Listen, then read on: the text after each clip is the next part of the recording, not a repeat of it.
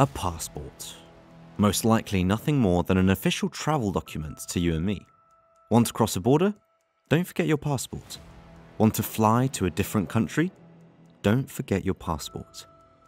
Now, imagine a fugitive wanting to cross a border or take a flight. The minute they'll show their passport is probably the same minute they'll get arrested. Does this mean that a criminal can never move? No. All they need is the expertise of the following man. He may look like an outstanding citizen, but in all reality, he ran a ring supplying forged passports to some of the biggest criminals out there. But how did he do it? This is the story of Anthony Beard. If you look at this man, you might think of him being a very regular, law abiding older man, perhaps reminding you of your grandfather even. However, looks can be deceiving, as this 61 year old has a deep history of crime and violence. Being born in Sydenham, South London, where crime rates are only ever rising, Anthony wasn't exactly born with a silver spoon in his mouth. And while not much is known about his childhood, one can only assume that he didn't have a particular affection for the judicial system. Why? Well, for at least 20 years of his life, Anthony had been engaged in an extremely lucrative hustle, arranging forged passports for criminals.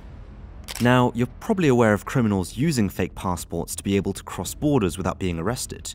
Usually, these passports are counterfeit, made to look like real passports, but Anthony's passports were different. He found an ingenious way to arrange that the UK government itself would issue a new passport providing his client with a completely new identity, as this passport would be issued by the HM Passport Office. It was extremely hard to notice that it was essentially a forged passport. This made these fraudulently obtained genuine passports, or FOGs as what they call them, a true golden ticket for these high profile criminals. But how was he able to get these passports? The key was to find people who could lend their identity, essentially becoming the identity donor it was important to find someone that would not be wanting to leave the country and therefore didn't need a passport.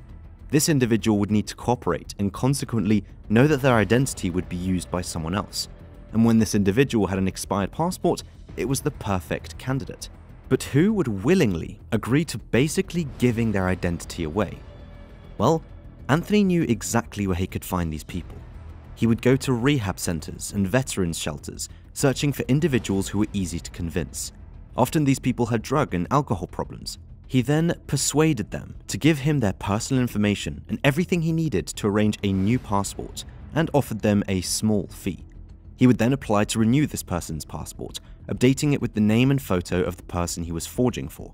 If necessary, he would even phone up the passport office, pretending to be someone else to check the status of the application. Let's listen to a recorded call. Good Afternoon, thank you for calling Majesty's Passport Office. I want to check the progress of my uh, passport. This is Beard chasing up some passport applications. In each call, he pretends to be a different person. It's Christopher Lloyd. David John Cordell. By using the passport renewal process, he avoided the required in person interview, which would obviously be impossible for a criminal hiding out in another country. A seemingly legal passport for a wanted criminal is worth its weight in gold, and it's safe to say that Anthony's business was extremely lucrative.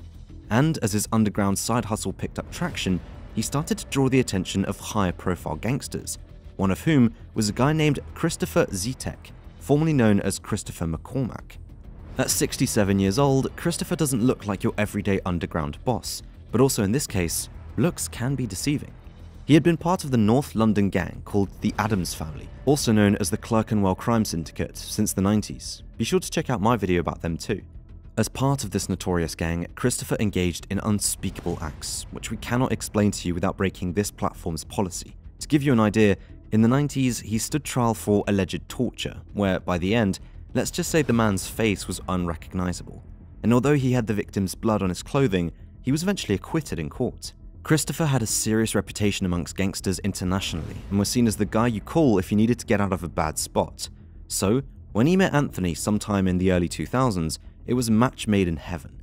Christopher had the clients who were in need of fake passports, essentially becoming the broker, and Anthony had the ability to forge passports. Then there was a 72 year old man named Alan Thompson, who was more of an aide to the business and Christopher's right hand man.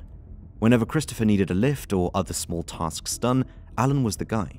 And so, from 2000 on, these three men engaged in a lucrative criminal business, supplying passports to gangsters on the run who were willing to pay a lot of money for a new identity. Over the next 20 years or so, it is suspected that Anthony supplied around 108 of these fraudulently obtained genuine passports. Each one cost around 15 to 20,000 pounds, so at worst, these guys made over 1,600,000 together. And then, considering that the identity donors, the people whose passports were being used, received no more than 100 pounds, it was definitely a profitable business. But if this business was seemingly so bulletproof, how did they uncover it all? Well, here comes the NCA. If you've watched some of our other videos before, you've probably heard me mention the National Crime Agency, or NCA. This is a law enforcement organisation based in the UK that tackles high level crimes and organised crime groups. You can think of them as the British equivalent of the FBI. Anyway, in 2017, the NCA started a joint investigation named Operation Stray with the Dutch National Police, Police Scotland, and the HM Passport Office. This all arose after the Dutch police detected an issue with British expat criminals who they believed were presenting false identities to them. After notifying the British police, a joint investigation team was formed, which essentially allowed these law enforcement agencies from different countries to work together. To try and catch the problem at its source, a bunch of British officers were sent to the Netherlands to be trained with fingerprint identification machines.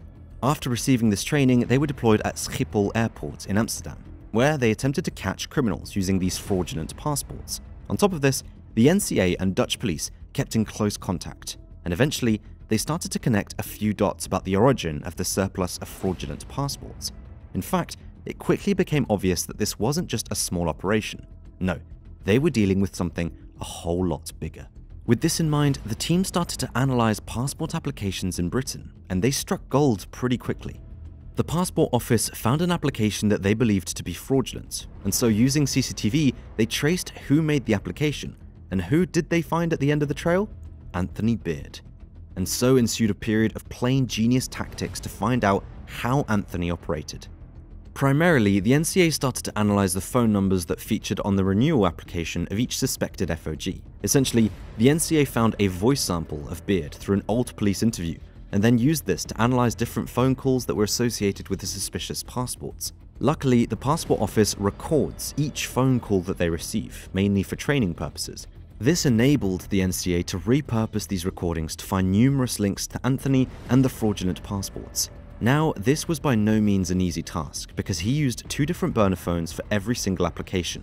Nevertheless, as the team persevered through the mountain of data, they quickly realized that they were dealing with something much bigger than they first anticipated. Why?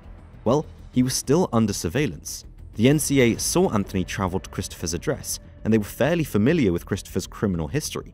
This affiliation kind of suggested that the whole ordeal was a multi-layered operation, rather than Anthony acting as a lone wolf and making a few thousand pounds here and there. Now, because the meetings between Anthony and Christopher were held exclusively in his home, the authorities found it extremely difficult to gather any meaningful information from these meetings. Faced with these less than ideal circumstances, they deployed their extensive technological resources, bugging Christopher's house with audio recording devices. Over months and months of constant surveillance, the NCA became increasingly confident of Christopher's involvement in the FOG business. These suspicions were then confirmed beyond doubt when DNA analysis revealed that his fingerprint was present on a fraudulent Latvian passport made for fugitive criminal Scotty Hughes. With their suspicions confirmed, the NCA employed a low-key strategy, allowing the passport office to approve suspicious passport applications, which they identified by using handwritten analysis as well as voice recognition specialists. Once the application was approved, an undercover police officer was sent to deliver it to the named address to confirm that the identity donor was complicit. They then tracked the movement of the passport, which, as you probably can guess, went straight to Anthony. With the help of Dutch authorities, the passports were more often than not recovered down the line. After three long, hard years of compiling evidence against Anthony and Christopher, the NCA felt confident that they had enough proof to arrest the pair. Christopher was residing in Spain at that time, but made an unexpected return back to UK soil, giving the NCA the perfect chance to arrest him. And so, they did. The whole operation took the coordination of 327 officers. But in October 2021, Anthony, Christopher, and five other members of the operation were arrested. In court, Christopher, Anthony, and their associates stood little chance. The NCA had three years of evidence against the group, including over 200 witness statements and about 1,000 exhibits of their booming business. The group faced charges of conspiracy to pervert the course of justice, conspiracy to make false instruments, as well as money laundering. And knowing that the odds were stacked against him, Anthony pleaded guilty on the first day of the trial, which took place on January 3, 2023. In his plea, he admitted supplying 70 fraudulent passports used by high profile criminals like Christy Kinahan, as well as several other members of Glasgow based gang Gillespie, including Christopher Hughes and Jordan Owens. Christopher and his right hand man Alan didn't break so easily, but were eventually found guilty on the 17th of March. Christopher was seen as the brains of the operation, and when the sentences were handed down on the 16th of May, he received the longest jail time of eight years. Anthony was given six, and Alan three. However, the Court of Appeal felt that at first instance, the judge had been far too lenient, and so on the 25th of August, Anthony's sentence was increased to 10 years and 2 months, and Christopher's bumped up to 12 years. I hope you found this video entertaining, and if you did, please consider leaving a like and letting us know your thoughts in the comments section below. Also, make sure to subscribe so you never miss a video. I'll see you in the next one.